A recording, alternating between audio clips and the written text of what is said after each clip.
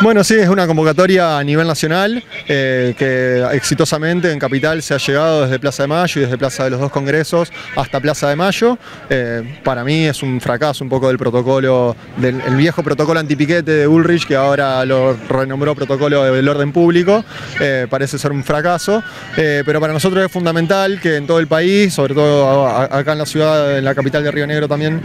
nos movilicemos en defensa del derecho a la protesta, porque es el, el primer derecho para poder conquistar más derechos y defender los derechos ya adquiridos. Ese espacio de lucha que, es por el, por el cual conseguimos tantos derechos y que entender que eh, este tipo de, mm, digamos, de, amenazas contra eh, la, digamos, la, libertad de expresión, que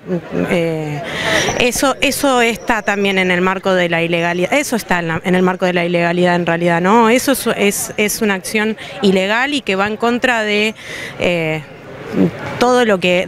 de, incluso de la Constitución y los tratados internacionales de los derechos humanos. Y bueno, acá estamos un poco tristes, bajones por bueno por todo lo que viene anunciando el gobierno,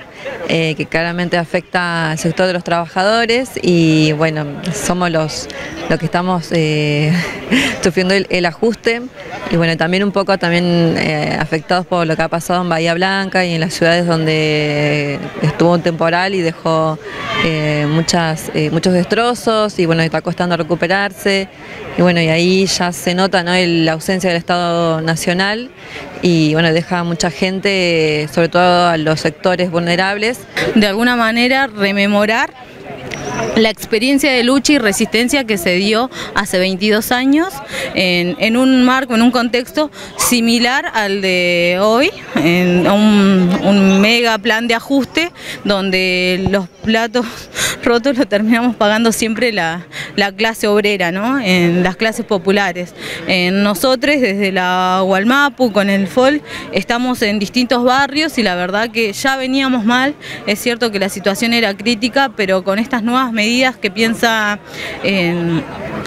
lanzar el gobierno de Miley, esto se va a incrementar. Sí, o sea, recuperar la experiencia del 2001, recuperar las asambleas abiertas, o sea, poder participar, tomar voz,